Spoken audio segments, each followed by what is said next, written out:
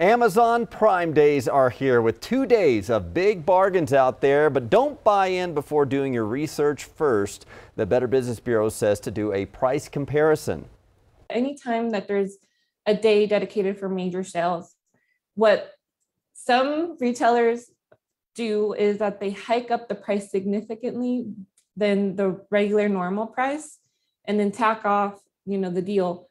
So you think that you're getting a deal, but it's, it's really that they just hiked up the price much, much more. Yeah, it isn't just online either. You can see this with any going out of business sale. The liquidator comes in and marks the prices higher on items and then marks them down. So you hmm. think you're getting a good deal.